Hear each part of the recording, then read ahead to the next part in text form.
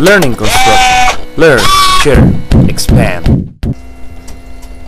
Hey guys, I'm Ernesto with learningconstruction.org and um, I want to talk about how to read the plans, more specifically the architectural drawings. So we're going to start with uh, basic layout on the floor plan which, that I made and um, what I wanted to talk about is how the floor plans look. Well basically a floor plan is a top view of how the house will look from the east side. On the right portion of the drawings you can see how the uh, drawings show you the layout of the house, the name of the rooms, the functionality of each one of the rooms. Uh, it also show you how the furniture is located and that kind of gives you an idea of where the fixtures are going to be. Light locations, uh, plumbing fixtures and other items. Uh, they also show you how the door swings are going to be. Uh, for example, if you look at on the living room, they're showing how they have a right hand reverse, and, and, in other areas where they show the uh, left hands and right hands. Uh, if you guys need more help with the door swings, uh, you can check my other video about the door swing types, and it can go through how the doors work.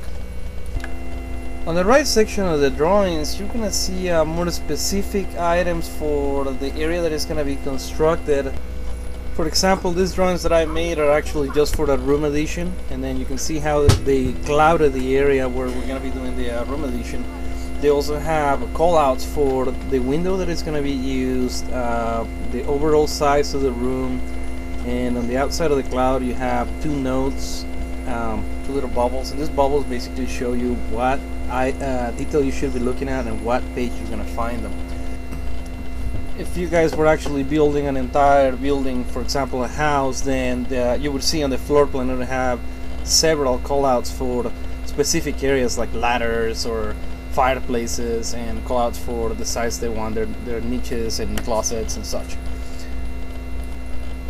Okay, uh, on the upper right hand you can see uh, several notes which uh, you can't really read on this picture that I show you guys, but these notes actually show you general notes for the building and once again they show you the type of window you're using or the type of insulation they want or the size of the walls that you'll be using and other specific notes to the floor plan or the rooms that you will be uh, working on.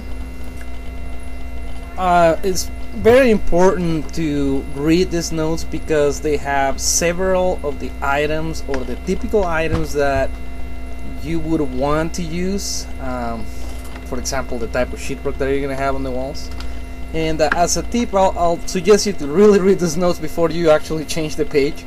Um, you know I've been working construction for several years and you don't know how many times I had people come in and ask me a question that uh, all I had to do was read on a note on the right side and say okay here this is this is where it is or on the flip side of the story, how many times I call an architect, ask them, hey, you know, I, I don't know uh, the type of the walls that you're going to be using, and they, you know, they call me back and they say, hey, why don't you read the notes on the right side of the plans? So, very important, guys. Don't forget to read these notes. Okay, the next section of the drawings is what's called the uh, framing plans, and the framing plans have specific dimensions for the entire building. Um, on these drawings that I show you, this is a, a, little house that I designed, so they don't, you know, I, I just pulled them out of the corners, but typically on a big building, you're gonna have them pulled out of grid lines. And the grid lines are imaginary lines that are going through the building, and you can use them to dimension throughout the building with these lines. Uh, this is this is very important, especially when you're doing a multi-story building. Um, then you can actually use the same grid line to measure the difference between walls. Uh, you know, this is very important when you're trying to match walls from the first floor to the second floor, especially when you have plumbing lines or HVAC lines that you need to get through. Uh, you have to really hit those dimension lines. Uh, another thing that you're going to find on the framing plans are more callouts. These callouts are going to be very specific about where they want the windows, the doors to be located, the opening in between windows like in this drawing you have several windows in one area and uh, they're gonna have the opening size for the windows now for self-experience I can tell you guys you need to know the manufacturer that you'll be using for those windows that's very important because remember the type of window that you'll be using is it will have a different rough opening for the window. Uh, if you want to learn more about windows, you can also see my other video about window openings and rough openings and the standard dimensions and all that stuff. Okay, another important thing to talk about on the drawings is the uh, stairs. Um, the stairs that will show you how the stairs are located and what's going up and what's going down. On this drawings, you can see it through an arrow that is pointing to the up part of it and it's telling you that it's going from the bottom floor to the top floor. They also call out for the specific sizes and how many risers they want on that stair. It's very important for you guys to remember uh, as you're building, as you're making the building, you want to keep those clearances exactly how they're shown in the drawings. Otherwise, you'll be inventing stuff down the road, and believe me, that's not that's not fun at all.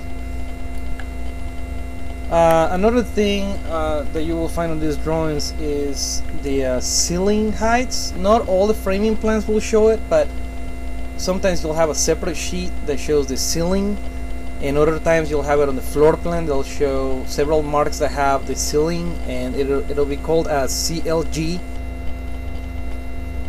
and it'll basically be telling you what the height for the ceiling in the area is or where they want soffits or drops and such items.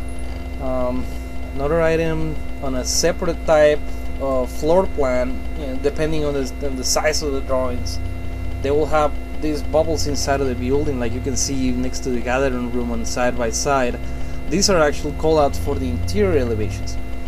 Uh, the interior elevations are basically cuts of the building from the inside as you were standing and you can see how they want the windows or the doors or the furniture cabinets fixtures and such items. They're going to be noted on these interior elevations Okay, well I hope this video helped you guys and I'll have more videos about how to read plans and I'll, I'll go through other type of uh, drawings. Uh, I hope you guys liked it and keep watching us on learningconstruction.org or on this channel. Thank you.